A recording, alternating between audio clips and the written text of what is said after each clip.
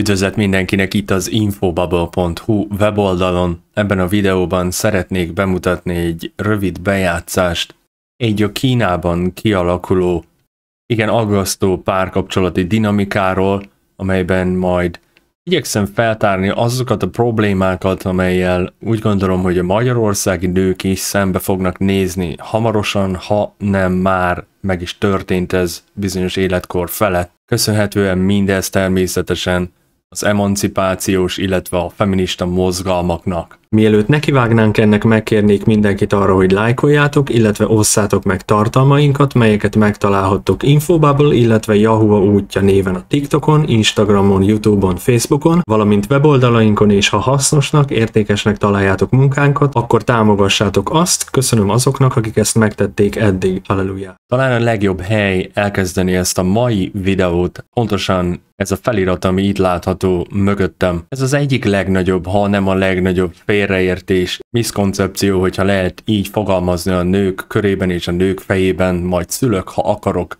illetve azt csinálok, amit akarok, ami egyáltalán nem így van. Egyikünk sem csinál azt, amit akar. Bizonyos értelemben mindannyiunkat kötnek társadalmi normák, még akkor is, ha nem olyan sok, vagy nem olyan erős, mint amilyen az volt a múltban. De ami még fontosabb, az mindannyiunkat kötnek bizonyos biológiai normák és szabályok, amelyeket egyáltalán nem leszünk képesek, mint hogy nem is vagyunk képesek átidalni, illetve legyőzni. Olyan biológiai szabályszerűségek ezek, amelyek különösen a nőket érintik. Bizonyára nem árulok el nagy titkot, hogy a nő nem akkor szül, amikor akar, hanem akkor, amikor tud. És ahhoz, hogy tudjon, ahhoz számos faktornak, körülménynek az együttállására van szükség. Kettő legfontosabb ezek közül az életkor, ezzel együtt a termékenység, a másik pedig a megfelelő partnernek a megtalálása, kiválasztás után.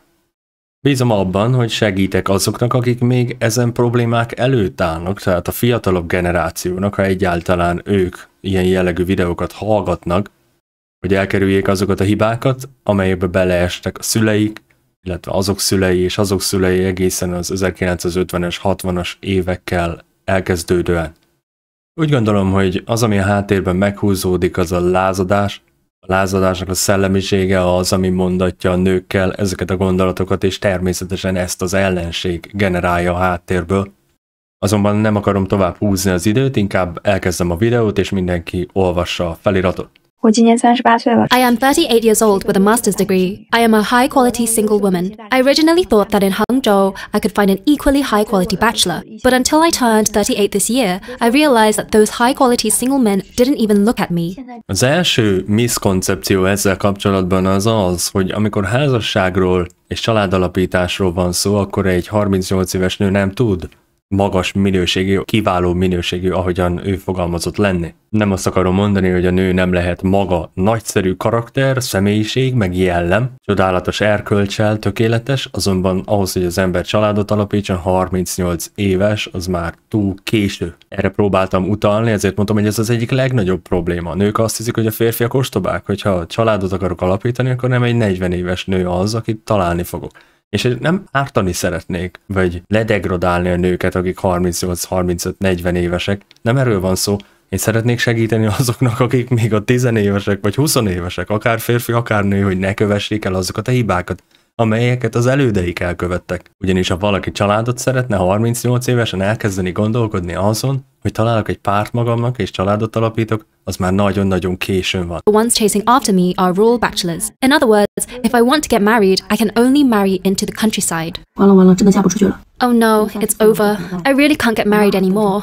I'm already 34 years old. What should I do? My mum is still waiting for grandchildren. Do I really have to resort to buying sperm for artificial insemination? It's so scary. I want a man. 38 éves volt ez a hölgy, és arról beszél, hogy most már lehet, hogy spermabankba kell mennie, és mesterséges megtermékenyítést kell alkalmazni, ugyanis nem képes találni magának egy férjet.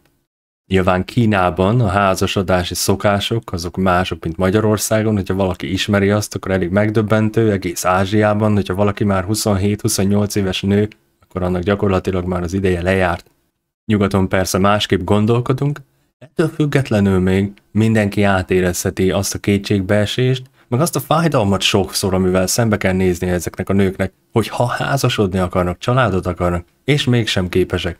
És mindezt köszönhetik annak, hogy a propagandát befogadták, és az életüket hazugságra építették.